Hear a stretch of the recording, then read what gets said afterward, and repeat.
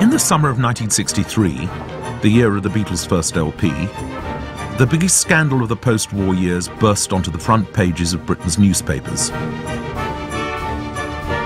John Profumo, the Secretary of State for War and a married man, resigned after admitting that he'd had an affair with a 19-year-old model called Christine Keeler.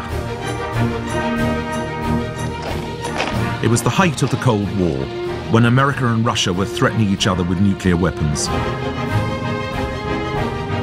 Alarm bells rang, because while Keeler was sleeping with Profumo, she was also seeing Evgeny Ivanov, who was known to be a Russian spy. And there was a fourth man in this saga, the man who introduced Christine Keeler to Ivanov and inadvertently to Profumo. His name was Stephen Ward. I find him a fascinating character, so fascinating that he is the key figure in my latest musical. He was the pivotal figure of the scandal that erupted in the summer of 1963. The affair unfolded at a watershed moment in Britain, when the drab and dutiful 50s were giving way to the permissive 60s.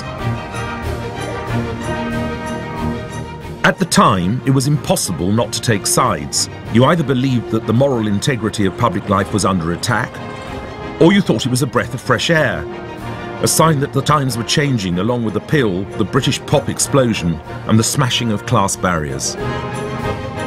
To those in government, Ward was a highly convenient scapegoat, a man who could be portrayed as a pleasure-seeking troublemaker who entrapped Profumo in his seedy lifestyle.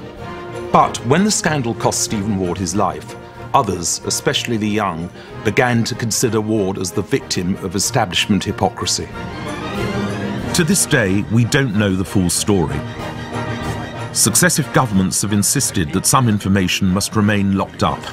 there are still some sensational personal items in here which, uh, which, which would be embarrassing to be uh, released. Sex, class, money and espionage, it's the scandal that refuses to go away. And at its heart stood Dr. Stephen Ward.